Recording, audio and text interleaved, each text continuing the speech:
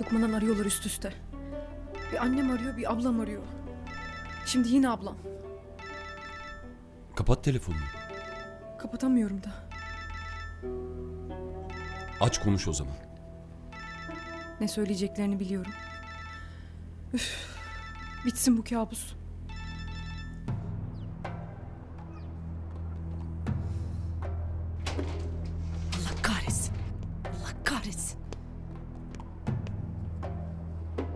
Yine arkamdan melanet mi okuyorsun? Yazıklar olsun. Cevriye Hanım çok rica ediyorum bugün benimle uğraşmayın. Ay benim seninle uğraştığım yok kızım. Sen kendi kendinle kavga ediyorsun. Ay aldığın ilaçlar mı ters tepiyor ne? Bir an önce ne olacaksa olsun da hepimiz rahat edelim. Ah! Aa, selamın kavlen ne bağırıyorsun? Deli. Çocuktan da hayır gelmez. Safi sinir bir şey olur çıkar Allah korusun.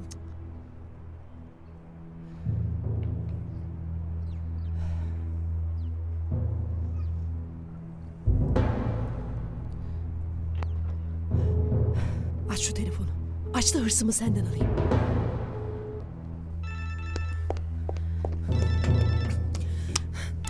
Hey! Sakın sen açma. Nazlı arıyor. Aç bakalım ne diyor. Leyla müsait değil de.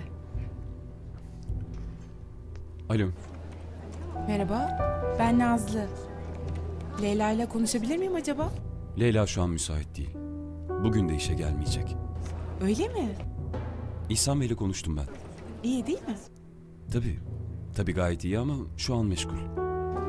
Anladım. Annesi sürekli buraya arıyor da merak etmiş bir arasın lütfen. Peki, söylerim. Hoşçakalın. Ne diyor? Annen arıyormuş şirketi. Allah o Ferhunde'nin cezasını versin. Duramadı biraz daha. Duramadı. Bende de ne şans var Allah kahretsin.